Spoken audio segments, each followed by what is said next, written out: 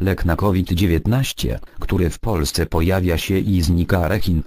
Lek, który pojawia się i znika. Najwyższa Izba Kontroli przygląda się rejestracji jednego z preparatów na COVID-19. Jak dowiedziały się DGP oraz Radio Tok FM, NIK sprawdza, czy Urząd Rejestracji Produktów Leczniczych, Wyrobów Medycznych i Produktów Biobójczych URPL nie pospieszył się z dopuszczeniem arechinu w leczeniu COVID-19. I chociaż urząd przekonuje, że przedmiotem kontroli NIK nie jest konkretny produkt, to z naszych nieoficjalnych informacji wynika, że pracownicy Izby pochylają się głównie nad jednym lekiem, arechinem. Kontrola rozpatrywania wniosków o rejestrację i zmian porejestracyjnych produktów leczniczych rozpoczęła się 10 listopada.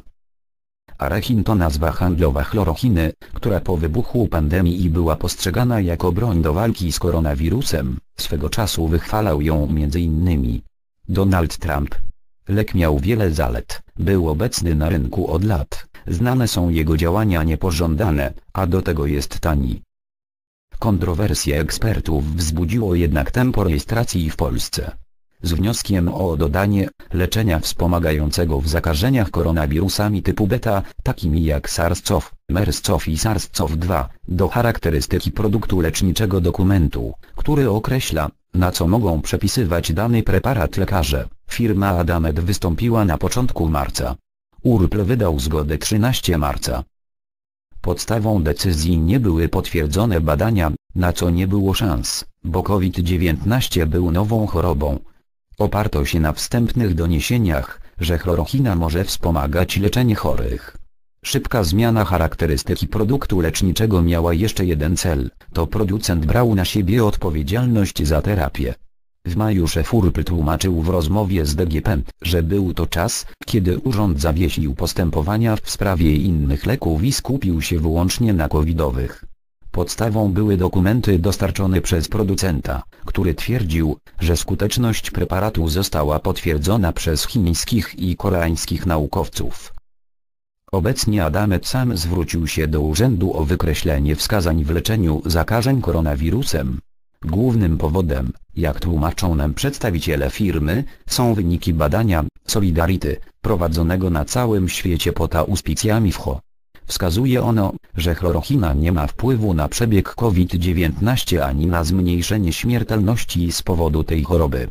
To spowodowało, że Polskie Towarzystwo Epidemiologów i Lekarzy Chorób Zakaźnych wykluczyło chlorochiny ze standardów leczenia koronawirusa, uznając w rekomendacjach z października użycie chlorochiny za bezzasadne w odniesieniu do zakażenia SARS-CoV-2.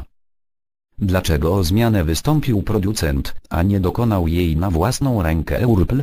Jak tłumaczy rzecznik urzędu Jarosław Buczek, Europejska Agencja Leków EMA, nadal dopuszcza w uzasadnionych klinicznie przypadkach możliwość zastosowania chlorochiny i hydroksychlorochiny.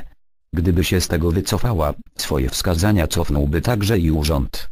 Pod koniec maja URPL wraz z EMA ostrzegał jednak, że w związku z występowaniem działań niepożądanych w tym zaburzeń rytmu serca, należy monitorować pacjentów, którym podawany jest lek. Ministerstwo Zdrowia za kwotę 152 tysięcy złotych kupiło 11 tysięcy opakowań strechinu, które trafiły do Agencji Rezerw Materiałowych i szpitali. A lek już w marcu, wobec braku innych opcji terapii, stał się hitem i zniknął z aptek tak szybko, że resort musiał wprowadzić przepisy pozwalające na jego reglamentację. Do placówek nieodpłatnie lek przekazywał też Adamet.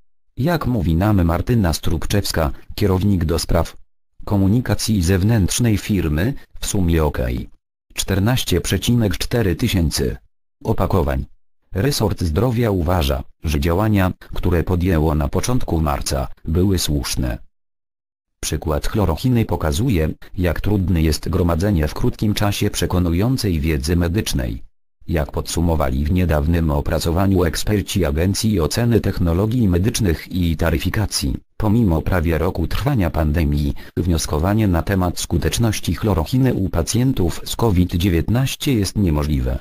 Powód Badań jest wiele, ale są niskiej jakości i trudno je między sobą porównywać. A czasem nie mają żadnej wartości. Na przełomie maja i czerwca renomowane czasopismo The Lancet opublikowało wyniki badania mającego świadczyć o szkodliwości chlorochiny.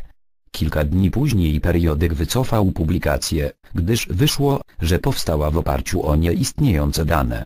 Autorzy Klara Klinger, Jakub Kapiszewski, Michał Janczura,